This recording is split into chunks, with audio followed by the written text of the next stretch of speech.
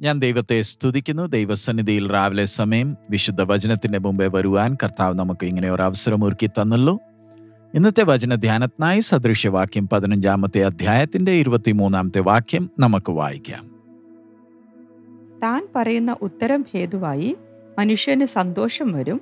തക്ക സമയത്ത് പറയുന്ന വാക്ക് എത്ര മനോഹരം.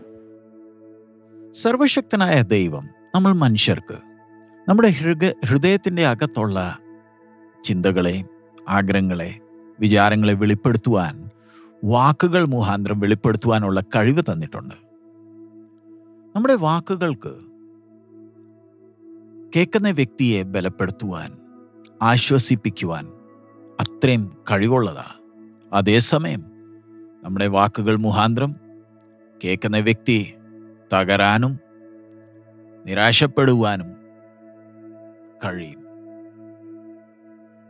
തക്ക സമയത്ത് പറഞ്ഞ വാക്കുകൾ ലോകത്തിന്റെ ധനത്തെക്കാട്ടും വിലപ്പെട്ടതാ. കേൾക്കുന്ന വ്യക്തിയെ എത്ര സന്തോഷിപ്പിക്കും. അതേസമയത്ത് പറയുന്ന വ്യക്തിയെയും എത്ര ആശ്വസിപ്പിക്കും. ഇതെല്ലാം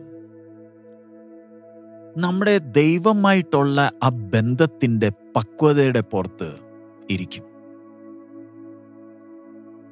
ജ്ഞാനിയായ ഒരു വ്യക്തി ബുദ്ധി ഉപയോഗിച്ച് ചില വാക്കുകൾ പറഞ്ഞ കുറച്ച് സമയത്തിനു വേണ്ടി അല്പസമയത്തിനു വേണ്ടി മനുഷ്യർക്ക് പ്രോത്സാഹനത്തിന്റെ കാരണമാവും. പക്ഷെ അതേസമയം ദൈവ ഭയമുള്ള ഒരു വ്യക്തി അദ്ദേഹത്തിന്റെ വായിന്ന് വരുന്ന വാക്കുകൾ തലമുറകൾക്ക് ആശ്വാസത്തിന്റെ കാരണമാകും നമ്മൾ ദൈവവചനം ധ്യാനിക്കുമ്പോൾ നമുക്ക് ഒത്തിരി ഉദാഹരണങ്ങൾ നമുക്ക് കാണാം. നമുക്ക് അബ്രഹാമിനെ കുറിച്ച് അറിയാമല്ലോ. അബ്രഹാമിനോട് സർവശക്തനായ ദൈവം താൻ സ്നേഹിച്ച് മകനെ യാഗമായി അർപ്പിക്കാൻ കൽപ്പന കൊടുത്തപ്പം അബ്രഹാമിന്റെ പെരുമാറ്റം നമ്മളൊന്ന് ശ്രദ്ധിച്ചേ.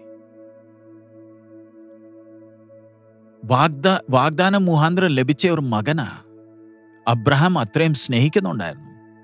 പക്ഷേ മകനെക്കാട്ടും കൂടുതൽ അബ്രഹാം ദൈവത്തെ സ്നേഹിച്ചു.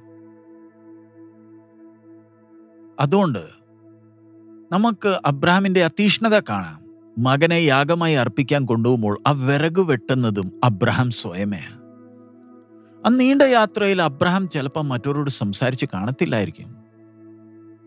അദ്ദേഹത്തിന് കിട്ടിയ കൽപ്പന മറ്റവരോട് പറഞ്ഞിട്ടില്ല. കാരണം അദ്ദേഹത്തിന് അറിയാം.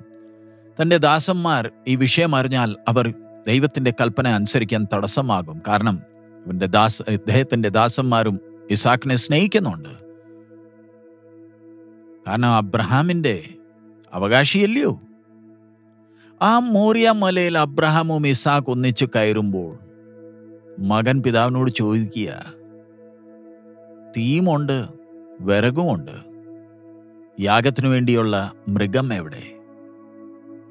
ആ നിമിഷം അബ്രഹാമിന്റെ വായിന്ന് വന്ന വാക്കുകൾ തലമുറകൾക്ക് ഇന്നും എത്ര പ്രോത്സാഹനത്തിന്റെ കാരണമാണ് വിശ്വാസത്തിന്റെ പാതയിൽ നടക്കുന്ന ഒരു വ്യക്തിക്ക് എത്ര പ്രോത്സാഹനത്തിന്റെ കാരണമാണ് മറുപടി എന്തുവാ പറഞ്ഞേ? ദൈവം തനിക്ക് ഹോമയാഗത്തിന് ഒരു ആട്ടിൻകുട്ടിയെ നോക്കിക്കൊള്ളും മകനെ എന്ന് അബ്രഹാം പറഞ്ഞു. അങ്ങനെ അവർ ഇരുവരും ഒന്നിച്ചു നടന്നു. ഈ അബ്രഹാം പറഞ്ഞ വാക്കുകൾ അബ്രഹാമിന്റെ ദൈവമായിട്ടുള്ള ആ ബന്ധം ആ വിശ്വാസത്തിന്റെ വെളിപ്പെടുത്തുന്നത് നമുക്ക് കാണാം. എത്ര യുഗങ്ങൾ കഴിഞ്ഞു പോയി. അന്ന് പറഞ്ഞ ആ വാക്ക് ഇന്നൊരു പാപിയെയും പ്രോത്സാഹിപ്പിക്കുന്നുണ്ട്. ക്രൂശിലേക്ക് നമുക്ക് നോക്കുമ്പോൾ സ്വർഗം നമുക്ക് വേണ്ടി ഒരുക്കിയ ഒരാട്ടിൻകുട്ടിയെ നമുക്ക് കാണാം. നമ്മളൊന്ന് തിരിഞ്ഞു നോക്കിയേ ഈ അബ്രഹാം തന്നെ ഒരു സമയം ഭയപ്പെട്ട് ഫറോനോട് സാറയുടെ വിഷയത്തിൽ ഒരു വ്യാജം പറഞ്ഞത്. ആ വ്യാജം പിന്നെ വെളിപ്പെട്ടു. ഫറോ തന്നെ അബ്രാമിനോട് കർശനമായി സംസാരിക്കേണ്ടി വന്നു. ഇപ്പോൾ മോറിയ മലയിൽ കയറുന്ന അതേ എബ്രഹാമത്തിന്റെ വായിന്ന് വരുന്ന വാക്കുകൾ നമ്മൾ ശ്രദ്ധിച്ചാൽ ഈ ജീവിതയാത്രയിൽ അബ്രഹാം ദൈവമായിട്ടുള്ള ബന്ധത്തിൽ എത്ര കാര്യങ്ങൾ പഠിച്ചു. നമ്മൾ അബ്രഹാമിന്റെ സ്ഥാനത്തിലായിരുന്നെങ്കിൽ നമ്മുടെ മകൻ നമ്മളോട് ഈ വിഷയം ചോദിച്ചാൽ നമുക്ക് വാക്കുകൾ കാണത്തില്ല. ഇസാക്കിന് തന്നെ പ്രയാസം തോന്നും. അങ്ങനത്തെ ഒരു ചോദ്യം ചോദിച്ചുകൊണ്ട്. പക്ഷേ അബ്രഹാമിന്റെ വാക്കുകൾ മകൻ ഇസ്രാ ഇസാക്കിന്റെയും വിശ്വാസത്തെ വർദ്ധിപ്പിച്ചു. അപ്പനെ അനുസരിക്കുവാനും യാഗത്തിന് വേണ്ടി തന്നെത്താനെ അർപ്പിക്കുവാനും മകൻ മുന്നോട്ട് വന്നു. ഞങ്ങൾ ചിന്തിക്കുന്ന കുറെ കഴിഞ്ഞപ്പോൾ അബ്രഹാം തിരിഞ്ഞു നോക്കി. ആ പറഞ്ഞ വാക്കുകളെ കേട്ട് തൃപ്തനായി കാണും. അബ്രഹാമിനോട് ആരെങ്കിലും പറഞ്ഞു കൊടുത്തായിരുന്നോ? എന്തോ മറുപടി കൊടുക്കേണ്ടിയത്? തക്ക സമയത്ത് മറുപടി കൊടുക്കുവാൻ പ്രാർത്ഥിക്കാൻ പോലും അബ്രാമിന് അവസരം കിട്ടിയില്ല. പക്ഷേ അബ്രാമിന്റെ ഹൃദയം ദൈവത്തിന്റെ സ്നേഹത്താൽ നിറഞ്ഞുകൊണ്ട് ആ ദൈവത്തിൽ ആ വിശ്വാസമുള്ളതുകൊണ്ട് ആ പറഞ്ഞ വാക്ക് അബ്രഹാമിന്റെ വിശ്വാസത്തെ വെളിപ്പെടുത്തുന്നു. ഇത് നമ്മളെ ഓർമ്മിപ്പിക്കുന്നത്. നമുക്ക് ചിലപ്പം മറുപടി കൊടുക്കുവാൻ പ്രാർത്ഥിക്കാൻ പോലും അവസരം ചിലപ്പം കിട്ടാതെ വരും. ദൈവമായിട്ട് ശരിയായിട്ടുള്ള ബന്ധമുണ്ടെങ്കിൽ മാത്രമേ നമ്മുടെ സംസാരം ആ ബന്ധത്തെ വെളിപ്പെടുത്തും. തക്ക സമയത്ത് തക്ക വാക്കുകൾ പറഞ്ഞാൽ കേൾക്കുന്നവർക്ക് ആശ്വാസത്തിന്റെ കാരണമാകും.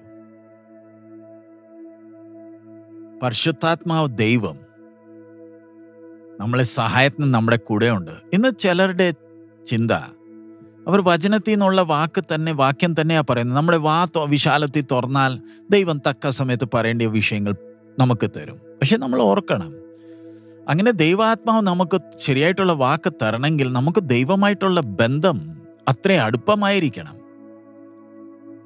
എന്നാൽ മാത്രമേ ദൈവാത്മാവ് തക്കതായ വാക്കുകൾ നമുക്ക് തരും. നമ്മൾ അതിന് ദൈവസന്നിധിയിൽ ഇരുന്ന് ദൈവവചനം ധ്യാനിച്ചിട്ടുണ്ടെങ്കിൽ മാത്രമേ ദൈവാത്മാവ് നമ്മളെ സഹായിക്കത്തുള്ളൂ. അല്ലെങ്കിൽ നമ്മൾ ഭാരപ്പെടേണ്ടി വരും. നമ്മുടെ ജ്ഞാനം ഉപയോഗിച്ച് നമ്മൾ വാക്കുകൾ പറഞ്ഞാൽ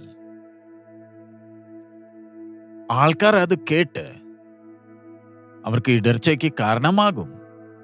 നമ്മുടെ അന്നേരത്തെ വാക്കുകൾ നമ്മുടെ ആത്മീയ പക്വതയെ വെളിപ്പെടുത്തും. സോ നമ്മൾ ദൈവമക്കളായിരിക്കുമ്പോൾ നമ്മുടെ വാക്കുകൾ നമ്മുടെ ദൈവത്തോടുള്ള ആശ്രയത്തെ വെളിപ്പെടുത്തരുത്. മറ്റു കേൾക്കുന്നവരുടെ വിശ്വാസം വർദ്ധിപ്പിക്കട്ടെ. അവരുടെ പ്രത്യാശയം വർദ്ധിപ്പിക്കുമാറാകട്ടെ. നമുക്ക് ദൈവത്തോട് ജ്ഞാനം അപേക്ഷിക്കാം. തക്ക സമയത്ത് തക്ക വ്യക്തിയോട് തക്ക സ്ഥാന സ്ഥലത്ത് പറയേണ്ടിയ വാക്ക് തരാൻ ആ ജ്ഞാനം തരാൻ. ചിലർ അവരുടെ വാക്കുകൾ മുഖാന്തരം അവരുടെ വിശ്വാസത്തെക്കുറിച്ച് ഒത്തിരി പ്രസംഗിക്കും. കേൾക്കുന്നവർ അവരെ നിന്ന് ദൂരം മാറും. നമ്മൾ കൂടുതൽ സംസാരിക്കുന്നില്ലെങ്കിലും തക്ക സമയത്ത് പറയുന്ന വാക്ക് എത്ര മനോഹരം. നമ്മുടെ വാക്കുകൾ ദൈവത്തിന്റെ കൃപയാൽ നിറഞ്ഞിരിക്കുമാറാകട്ടെ. അങ്ങനെയാണെങ്കിൽ നമ്മൾ മറ്റവരോട് പ്രോത്സാഹിപ്പിക്കാനും അവരുടെ തെറ്റുകൾ പറഞ്ഞു കൊടുക്കുമ്പോഴും അവർക്ക് ആശ്വാസമുണ്ടാകും. തക്ക സമയത്ത് പറയേണ്ടിയ വാക്കുകൾക്ക് വേണ്ടി നമുക്ക് പ്രാർത്ഥിക്കാം. ദൈവം അതിനായി നമുക്ക് ജ്ഞാനം തരുമാറാകട്ടെ. തക്ക സമയത്തെ മനസ്സിലാക്കുവാൻ. നമ്മൾ ഒത്തിരി വാക്കുകൾ പറയുന്നുണ്ട്. പക്ഷേ തക്ക സമയത്ത് പറഞ്ഞില്ലെങ്കിൽ മറ്റവരുടെ മുമ്പേ നമ്മൾ മൂടന്മാരായി പറയപ്പെടുമാറാകും. നമ്മൾ പറയുന്ന വാക്കുകൾ ദൈവനാമത്തിന്റെ മഹത്വത്തിന് കാരണമാകുമാറാകട്ടെ.